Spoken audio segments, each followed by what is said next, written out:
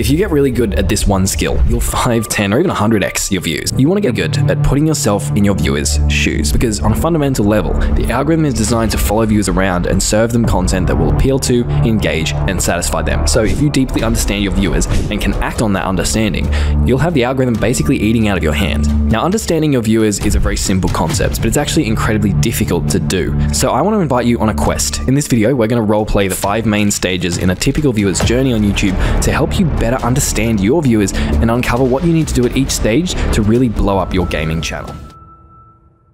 Chapter 1 The viewer logs onto YouTube with a need to fulfill. Viewers can start their YouTube sessions in a variety of different places. Some begin their sessions on the YouTube homepage, others begin their journey by specifically searching for a specific type of video. For the sake of this video, let's imagine that the viewer we're roleplaying starts their journey on the glorious YouTube homepage. The perfect place to knock your ego down a few pegs by learning about some 17 year old who earns your yearly income in one month selling slime. Thanks YouTube. And already this is one of the first places where putting yourself in your viewer's shoes can be valuable. See, before the viewer even starts their session on YouTube, they have an intention. It can be conscious or unconscious, but either way, they have a need that they hope YouTube will be able to fulfill for them. For example, if the viewer is looking for a funny moments video, the viewer is in need of comedic entertainment. The viewer wants to laugh. If the viewer is searching YouTube for the top tips and tricks to win more battles in Clash of Clans, the viewer is looking to get more wins in Clash of Clans. If the viewer comes to YouTube not looking for a particular video, it means they're bored and they need something to stimulate them. And while this might seem obvious, this is the first thing you need to understand if you want to get more views, because it can be helpful for you as a creator to try and put yourself in your viewers' shoes by anticipating the needs of your ideal viewers the moment before they even come to YouTube. Let me explain. Going back to our examples, if you're creating funny moments videos, you can anticipate that your ideal viewers are probably coming to your video because they want to laugh and be entertained. So your title and thumbnail should position your video in a way that emphasizes how funny and entertaining your video is going to be. And in your video content itself, you should probably include lots of funny jokes. My brother-in-law was addicted to the hokey pokey. It was a rough couple of years, but he turned himself around.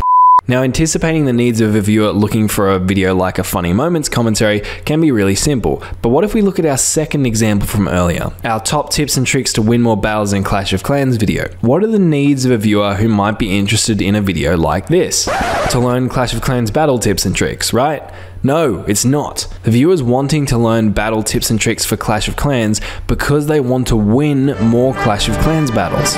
Or, probably even more likely, they want to stop losing so many Clash of Clans battles. Or if we were to investigate this need even deeper, maybe they're sick of losing battles because they feel like they're just wasting all of their time and armies for nothing. Or to go one step deeper, maybe they're tired of wasting their hard earned elixir, which is the resource you need to expend in Clash of Clans to train armies, for all you poor souls who've never played Clash of Clans.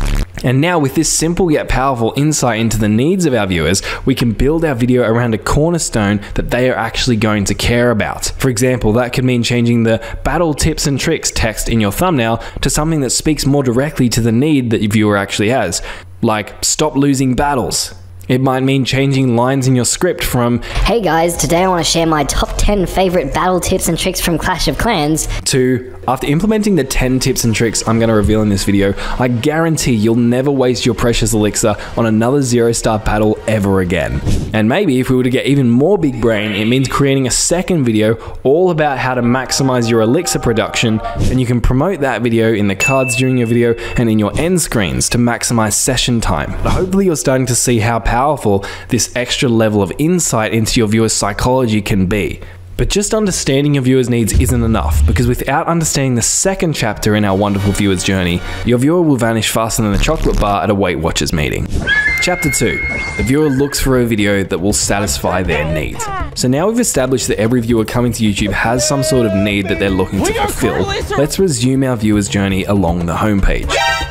Most often, our viewers will hit the homepage and scroll. And scroll. And anyway, your viewer will scroll down the homepage until they find an appealing video that catches their fancy. And as they're scrolling, they'll encounter a near endless supply of high caliber thumbnails and titles. And this is where I want to pause once more because There are two really important things you need to understand about this phase of your viewer's journey if you want to win the click. See, I get my students coming to me all the time with their titles and thumbnails, and the question is always the same. Is this thumbnail eye-catching enough? Is this thumbnail clickable? And most often, the answer is yes. The thumbnail is very eye-catching. Hello there. When you look at it on a blank background that has no other objects competing for your attention. See, what you need to understand is on the YouTube homepage, an eye-catching title and thumbnail is not enough because eye-catching is relative. You need to make something that is more eye-catching to your ideal viewers than any of the other videos they could potentially be clicking on. And that's the real key here. It's bloody goddamn hard, but you need to make your titles and thumbnails stand out. Eye-catching alone just doesn't cut it because if you can't win the click over your competitors, it doesn't matter how good your video is. However, even if you understand why your viewers are coming to YouTube and you've done the research and created a thumbnail and title that's eye-catching and stands out from the competition, your video will flop worse than an official YouTube rewind if you don't understand the third stage of our viewer's journey. Chapter 3 The viewer tentatively clicks on a video that they expect will best satisfy their needs. So, our viewer is on the YouTube homepage and your video has just caught their eye. Based on the title and thumbnail, it looks like a video that is going to satisfy their needs. And this is the magical point where the viewer clicks on your video. Time to celebrate, right? No, my naive and rhetorical self. You've just won the battle, but not the war. Just because the viewer has clicked on your video doesn't mean that they're ready to watch your entire video. Remember, your viewer has tentatively clicked on your video because based on how the thumbnail and title portrayed your video, the viewer expects that your video is going to be able to fulfill their needs. But if the beginning of your video doesn't live up to your viewers' expectations, they're going to leave. And so here's the scoop. Don't think about the beginning of your video as the part that leads into the real content. This isn't like a movie intro. You can't build up to the main event. Why am I talking so much about this? Well, you can see in your audience retention graphs, start, they often drop off quite significantly, and it's normal for your audience retention graphs to drop off. You will never be able to retain 100% of your viewers. However, if you're seeing significant drop offs, it means that something right at the beginning of your video, you're not meeting the expectations that your viewers had for that video. You need to be subtly or directly affirming to your viewers right at the beginning that your video really is what the title and thumbnail made it out to be and that it's worth continuing to watch. And when you do that correctly, the viewer will continue watching your video and they'll end up at the next critical phase of the viewer's journey. Chapter 4 the viewer settles in to watch the video. Studies have shown that retaining a viewer for the first 30 seconds of your video makes it far more likely that they'll continue watching the remainder of your video. If a viewer stays with the beginning of your video, they've made a tentative psychological commitment to your video. And that means, for the remainder of your video, they'll settle in a bit and become less flighty. And this is why most big YouTubers invest an incredible amount of energy and time into their intros or hooks compared to the remainder of their videos. All that being said, that doesn't mean that the body content of your video is not super crucial as well. Because specifically, even though it's less likely to lose viewers during the body section of your video compared to the intro, there are two crucial things you need to understand here. Firstly, just because your viewer is watching your video doesn't mean they're necessarily going to continue watching your video throughout its entirety. So many creators, for some reason, have the expectation that viewers who land on their videos will just continue watching them. Secondly, if your video is mildly boring in parts, but maybe not boring enough to leave completely, your viewers will just jump around your video. They'll double tap. They'll use the preview window on the play bar to skip to bits that look more interesting. They'll use your chapters to jump between segments if you have them. And while having a viewer that skips around your video is way better than having no viewer at all, it's still not ideal because, for example, at the end of the day, you'll end up with less watch time than you could have if they had watched the entire video in its entirety. And it's a less enjoyable experience for your viewers, which you can be sure is something the algorithm will pick up on. And if you can get this down, you'll be ahead of 95% of gaming YouTubers out there. But there is one more critical step in your viewer's journey that you need to take note of if you want the best chance possible of getting more views and subscribers. Chapter 5 the viewer detects when your video is over and looks for something else to watch. So we've done a good job of retaining our viewers and they're closing in on the end of our video. But I want to pause once more because if you want to get as many people as possible to not just watch your video, but then to like, to subscribe, to watch another one of your videos, or just to accept whatever your call to action is, you need to understand this one thing. So your viewers have a sixth sense to pick up on when your video is about to end. For example, let's jump to the end of this video Andrew and I made and see if you can pick out the ending. Bring back the private matches.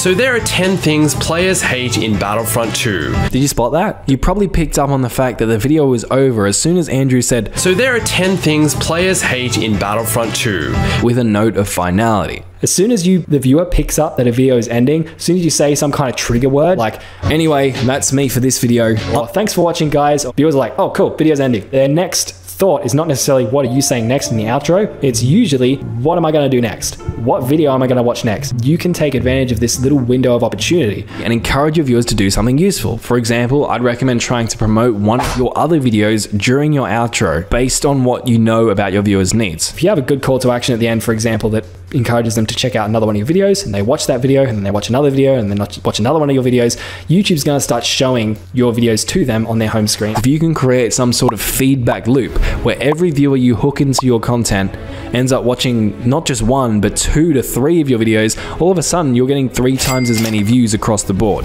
But the only way to do that properly is by having a really good understanding of who your viewers are and what your niche is, so that you know what videos your viewers will be likely to click on next. And that's why you should watch this video next, because in it I reveal my favorite framework for identifying your niche and ideal viewers, even if you consider yourself to be a variety gamer. See what I did there? Seriously though, it's a good video. Check it out.